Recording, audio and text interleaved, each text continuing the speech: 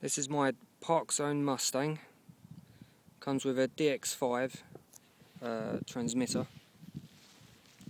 It has various scuffs just on the um, ailerons here. You can see just a little bit loose tape.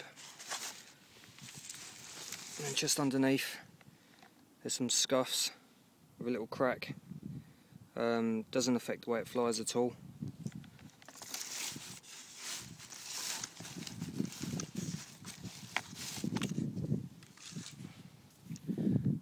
See, it's all there. Digital receiver.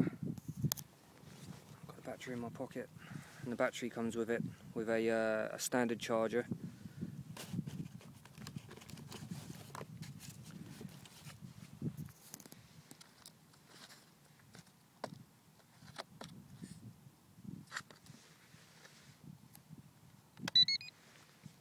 And I'll just show you the back. There's a tiny bit of flaking just on the corner, or it's just had a little bit of a rough landing. Um, but once again, it doesn't affect the way it flies at all. Um, with the plane itself, comes with a, a wire, an attachment, so you can use uh, a rear rudder.